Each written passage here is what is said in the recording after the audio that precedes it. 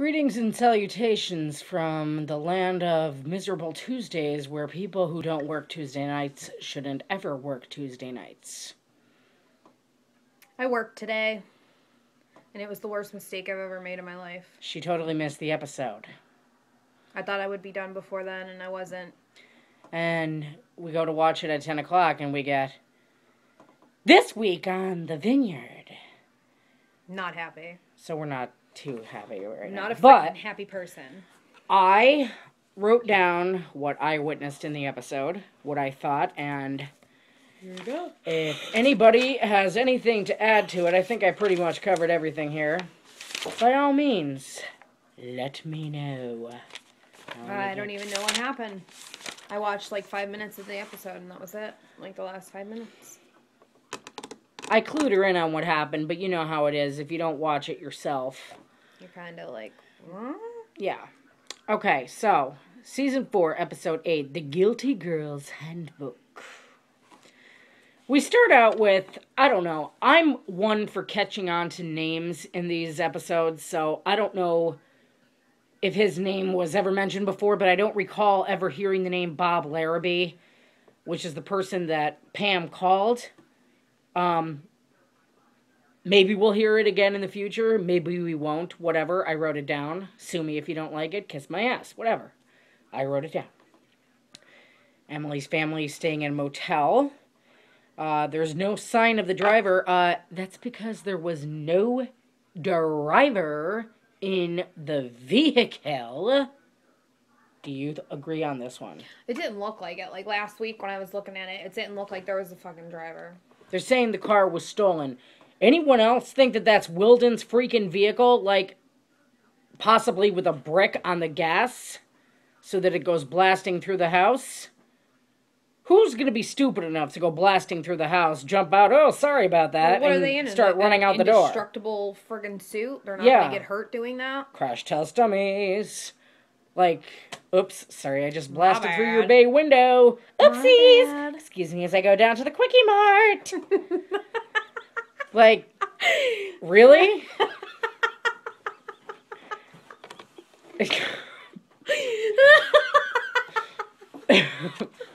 oh my gosh. so, then we find out that Ashley Marin is refused bail on her plea of not guilty and is being shipped off to Muncy State Prison until the trial.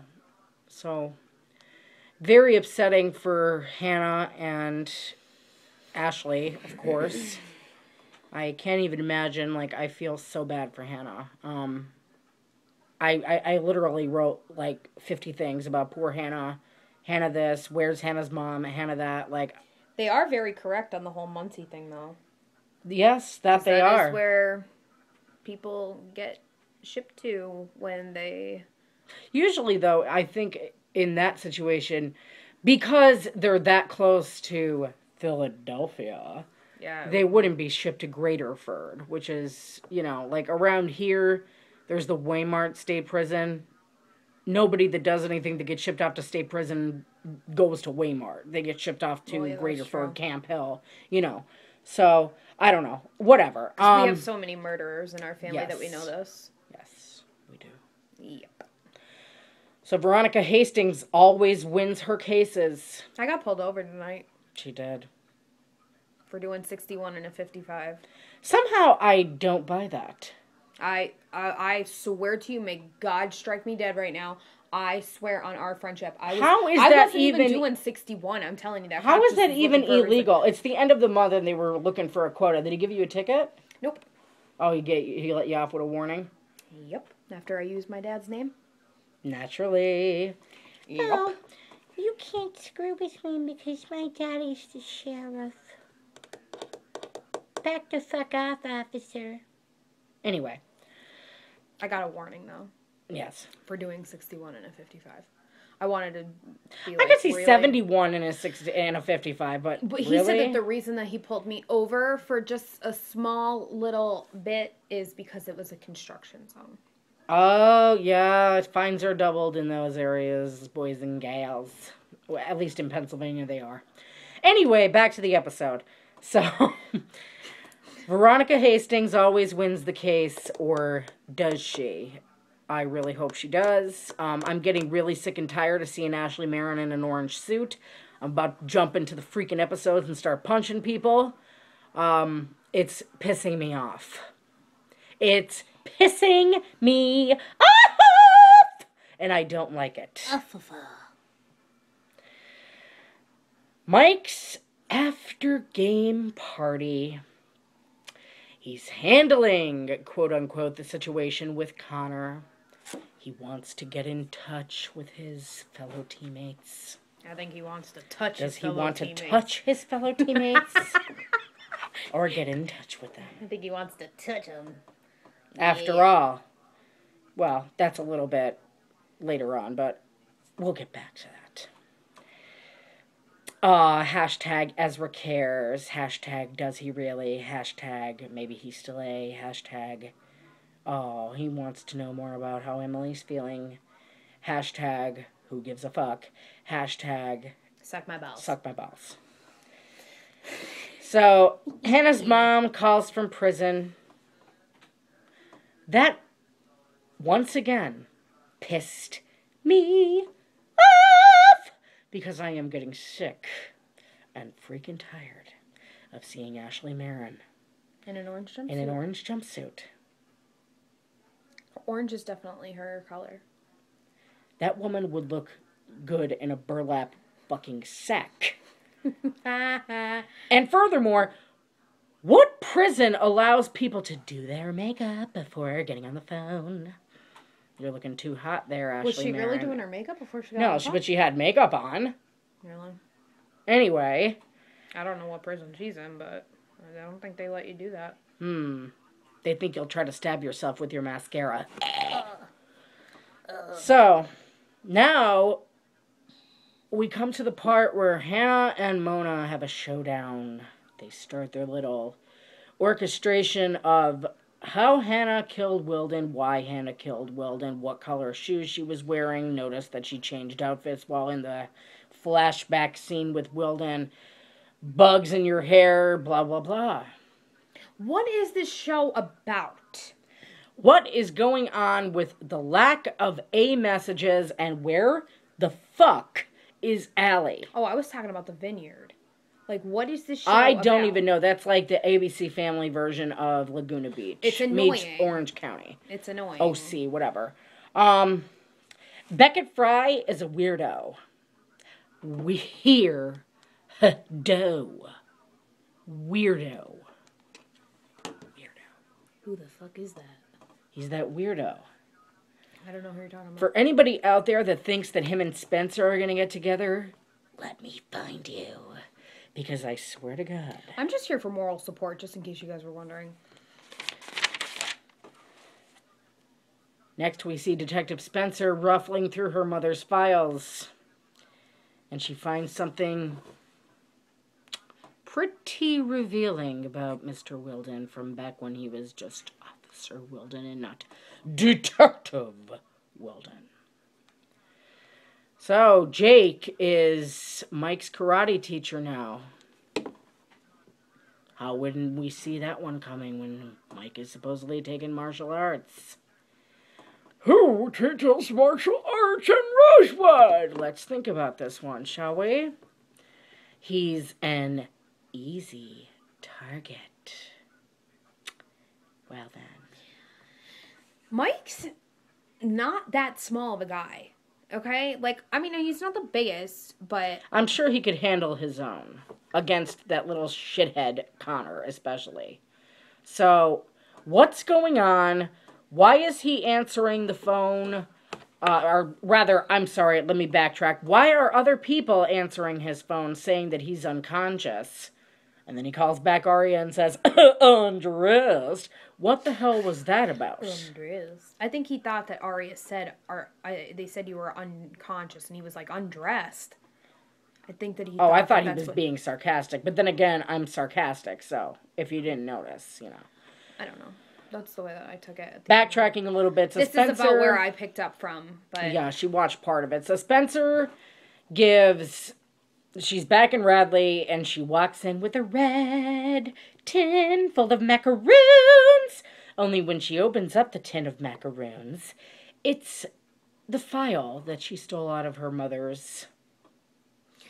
Wait, bo- why does Spencer have the red tin of macaroons now? Exactly. And that's something that I actually wrote down. More cookies in red tins, but then I crossed it out because it turned out to be the file that she stole out of her mother's Okay, but I'm saying though, is this the same? Is it the same one? Uh, it's pretty much the same. It, I think it's the one that uh, Mona brought to her while she was visiting her in Radley. Why the hell would she keep that? What she the fuck is with the that macaroons? from Mona, did she? I don't think she did. You be the judge.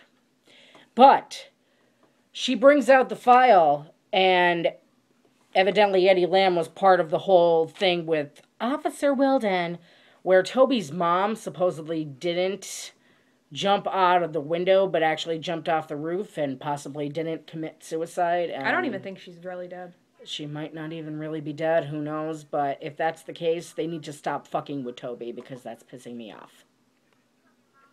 I'm sorry I'm dropping the F bomb a lot in this video, but this show is causing me to drop the F bomb.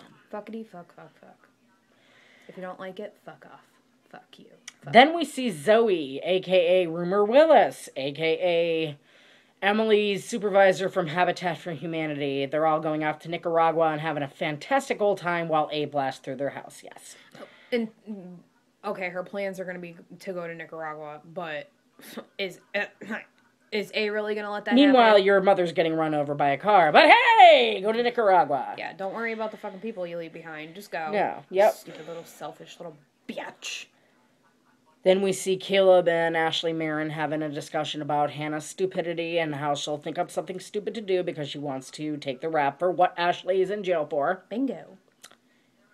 You hit the nail right on the fucking head, Caleb. Caleb knows her. It's kind of cute. Is his last episode really next week? I hope not. I saw He's that. gonna Don't quote me or anyone else on that. No, because he's going to be in. Ra- I don't know. Whatever. Wait, was Caleb was Caleb with them when they were yelling to, about Caleb is supposedly in the Halloween episode, but what But is what I'm saying though Halloween is, when this person drowns next week, is Caleb with them? Not that I know, because I saw Emily and Jake pulling whoever that is drowning out of the water. Now, just to get back to the episode, the Fields family is going to be homeless for months. Uh, Maybe Caleb is gonna be with whoever was drowning. That's a possibility. That's just That's next week's us, episode. sorry. But yeah. Um I can't say that I blamed Caleb for getting pissed off and storming out of the house. That was a stupidity stunt if I've ever seen one. I don't think it was stupid. Cause think about it. I don't know if they said this. Cause I I'm talking about Hannah trying to take the rap for her mother. You I don't think, think that that's not stupid. Here's my thing. I didn't see anything of before she came up with this plan or whatever. But think about it. If she takes the rap for it, she's a minor. It, it she could be tried as an adult. She for killing a absolutely cop. could be tried as an adult, but I think that there's obviously there's a less chance of her having anything happen to her. Well, yes, very true, but she's doing it to save her mother, and I can't say that I They wouldn't do the same thing in that situation. is what I'm saying. But they were trying to say it was self-defense. That's what I'm saying. And if it was self defense, then she probably would have got away with not anything happening to her. Okay, so to Even- wrap this up, Caleb saves the day. Pam looks like crap. She does. She didn't look good, and I felt so bad when she started crying, but Which I don't know. She was having like an anxiety attack or something. That's Then- how I felt today. why were they zooming in on Mona's shoes? And she looked like a man walking. She Am really I did. wrong We here, thought it was? Mike in fucking I high was like, who's that dude walking in high heels? It was okay. You need to hurry up because we got 40 seconds left. Yeah, I know. Uh, advertising that Insidious 2 is being coming out in November. Way to advertise the movie. Rock on. It actually comes out September the 13th. Mona confesses to killing Wilden. Big shocker for the end of the episode. I called it, and I didn't even watch the whole episode. And to conclude this, since when the hell is a Bob Vila and why is he putting drill holes peepholes into somebody's floor. Are they trying to make Pretty Little Liars like the movie Porky's? I don't know. Goodbye. Peace the fuck out.